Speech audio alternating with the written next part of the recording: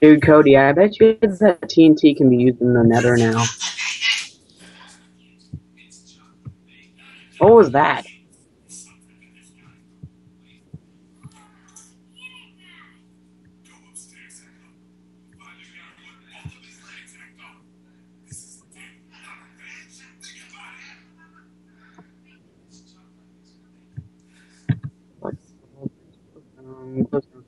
Very